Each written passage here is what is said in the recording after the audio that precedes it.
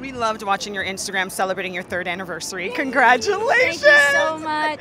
God is good. We do feel like it's happening to us too, FYI. Oh, that's so sweet. And then you're joking about maybe another kid, and then I'm just saying. That's, you know what? I'm just saying. Three is a good number. Ah. you know, three is my favorite number. Oh. But but I, I, I can't say I am enjoying dancing with a flat belly right now. I was gonna say, Russell, have you seen that?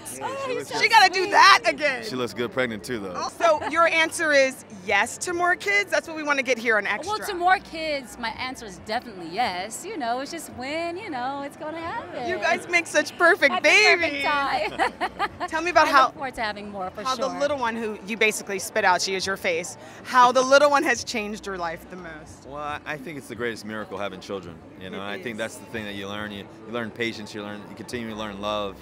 Uh, you, you continue to learn what life is supposed to be like, and so that's the best part about children.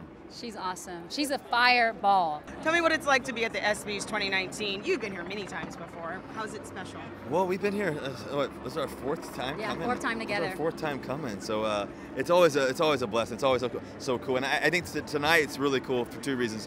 One, first of all, uh, we're giving the Jimmy V Award away, which is really cool. I cannot wait for you all to see this. It's a Yeah, really it's really inspiring cool. story.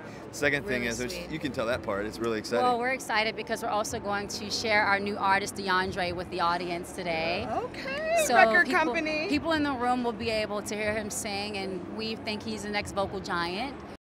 One more extra? Hit the subscribe button and the bell and never miss a video.